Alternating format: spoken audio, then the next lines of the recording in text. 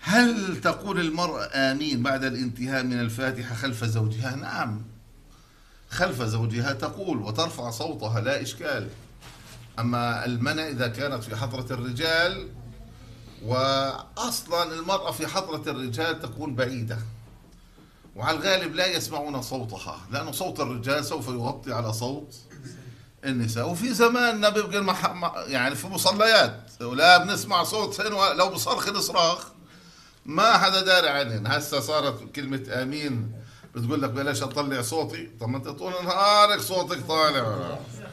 والادهى والأمر اللي مسجلات لي طالعات لي على اليوتيوب والنسوان قال واعظات. لا إله إلا الله قلة الحياة والله قلة حي على الآخر هاي الواحد توقف قدام ما حدا بيعرفها.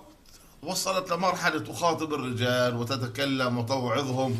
قال بدي أعطيكم إرشادات يا أيها الرجال. يا سلام. والله لا يفلح قوم ولوا أمرهم الله.